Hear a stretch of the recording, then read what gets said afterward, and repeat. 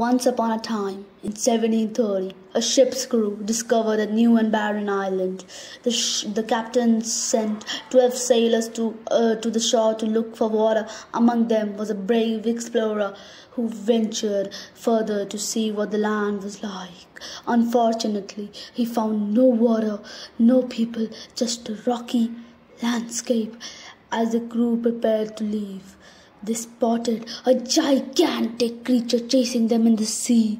The, the water only reached the cre- creature's knees. They hurried back to the ship, row- rowing as fast as they could, leaving the explorer behind. He quickly ran back, but on his way he faced a field with extremely tall crops and giant fences that were too big to climb. Suddenly, he saw a massive local man walking towards him. The explorer was so scared that he hid. The man had a voice as loud as thunder, and soon six more giants appeared. They were there to harvest the crops with huge tools that looked like giant, giant reaping hooks. One of the giants spotted the explorer and picked him up to look at him closely. The giant was curious and examined the explorer gently before setting him down on the ground. The explorer tried to talk to the giants in many different languages, but they couldn't understand him. The kind giant uh, took the explorer to his house where everything was ginormous.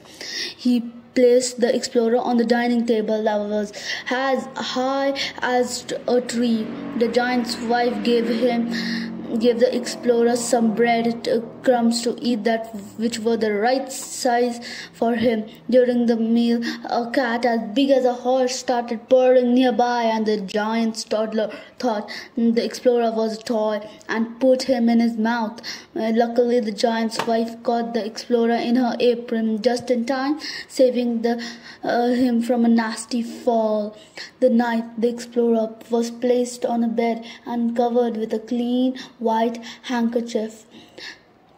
As he lay there, he dreamt of his home, his, his wife, his children, wishing to be back with them in his own world of normal sized people.